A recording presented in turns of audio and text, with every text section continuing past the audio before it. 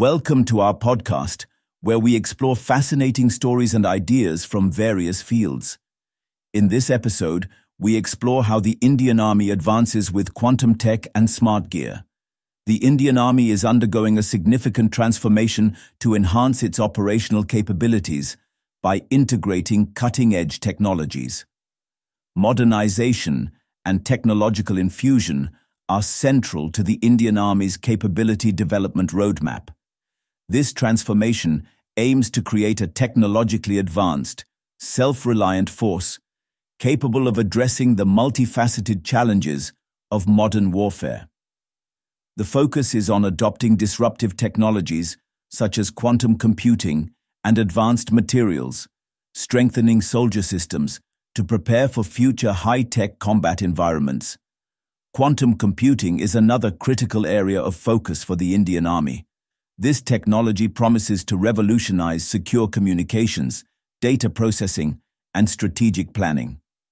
As part of the Decade of Transformation, the Army is establishing 16 specialized technology clusters to explore emerging technologies, including quantum computing. These clusters will serve as hubs for research and development, ensuring that the Indian Army remains at the forefront of technological advancements. Collaborations with institutions like IIT Delhi, IIT Kanpur, and IISc Bengaluru are further boosting the development of quantum computing applications for defense. The development and integration of advanced materials are crucial for enhancing soldier systems and ensuring improved survivability, mobility, and lethality. These materials are being utilized to create lighter, stronger and more protective gear for soldiers, as well as to develop more efficient and durable military equipment. The focus on advanced materials is part of a broader strategy to modernize infantry systems, making them smarter and more capable in diverse operational environments. By the end of this decade, the Indian Army aims to achieve enhanced operational agility, increased self-reliance in defense production, and improved operational capability across challenging terrains.